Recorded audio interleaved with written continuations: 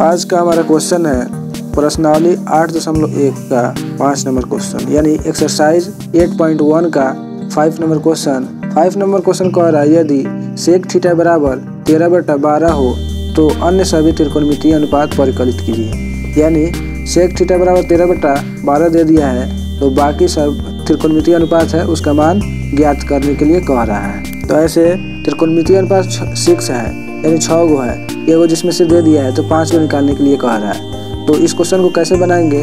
चलिए इसको बताते हैं। लेकिन बताने से पहले आपसे गुजारिश है कि अभी तक मेरे चैनल को सब्सक्राइब नहीं किए हैं तो इसे प्लीज़ सब्सक्राइब कर ले और ये वीडियो आपको पसंद आए तो इसे लाइक भी कर लीजिएगा। तो सबसे पहले हम बताते हैं। यहाँ पे लिखेंगे हल। हल लिखने के बाद हमको जो कहा है निकालने के लिए उसको लिखते हैं साइन थीटा बराबर वाट ठीक है? उसी तरह कॉस थीटा बराबर वाट फिर उसके बाद टैन थीटा बराबर वाट फिर कॉट थीटा बराबर वाट उसके बाद कॉसेक थीटा बराबर वाट और सेक थीटा तो दिया हुआ है। ऐसे त्रिकोणमितीय अनुपात सिक्स को होता है। तो पाँच को लिख दिए पाँचों का निकालना है जिसमें से एक दिया है, उसी से निकलेगा। अब लिखते हैं जो दिया है।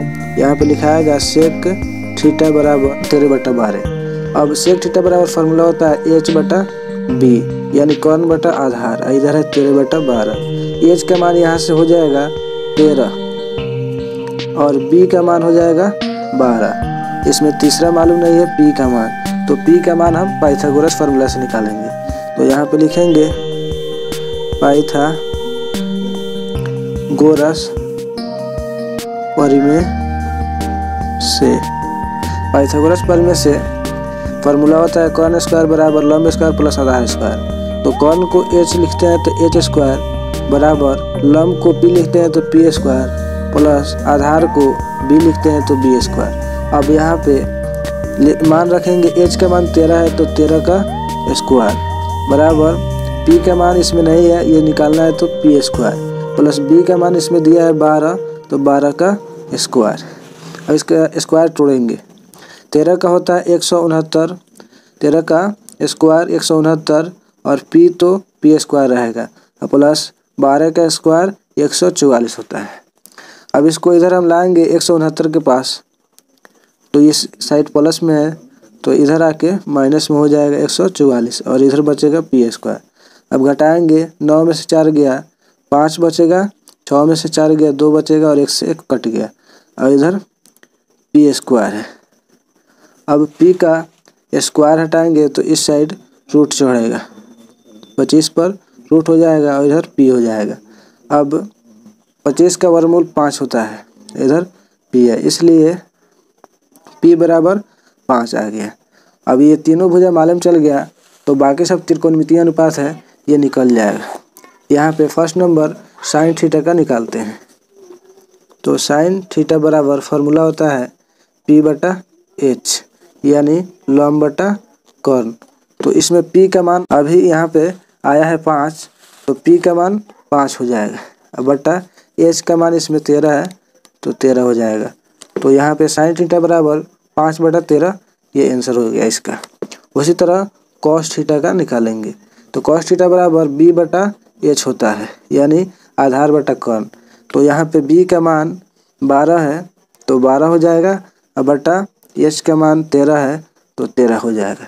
ऐसे भी सेक का उल्टा होता है। तो यहाँ सेक का मान तेरह बटा बारह है तो कॉस का बारह बटा तेरह हो गया है। उल्टा का पता चल गया कि नहीं? उसी तरह टेन थीटा का निकालेंगे।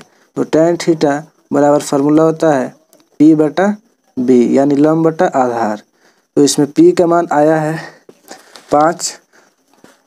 तो पाँच हो जाएगा। अब बटा बी का मान यहाँ पे बारह है तो बारह हो जाएगा। तो यहाँ आया टेन थीटा बराबर पाँच बटा बारह यह हमारा टेन थीटा का मान हो गया। उसी तरह कॉट थीटा का निकालेंगे।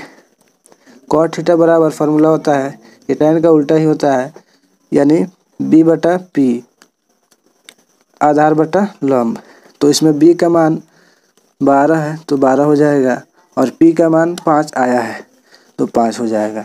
तो कॉट थीटा बराबर पाँच, बारह बटा पाँच हो गया। उसी तरह कौशिक थीटा का निकालेंगे। कौशिक थीटा बराबर फार्मूला होता है एच बटा पी तो एच बटा पी यानी कौन बटा लम्ब तो एच का मान तेरह है तो यहाँ पर तेरह हो जाएगा और पी का मान पाँच आया है तो पाँच हो जाएगा। ये हमारा कौशिक थीटा का मान हो गया। तो इस तरह निकालेंगे, इस तरह बनाएँगे इस क्वेश्चन को। दोस्तों, ये क्वेश्चन आपको समझ में आया तो प्लीज़ इसे लाइक कीजिए और अपने बाकी सब दोस्तों को भी शेयर कीजिए।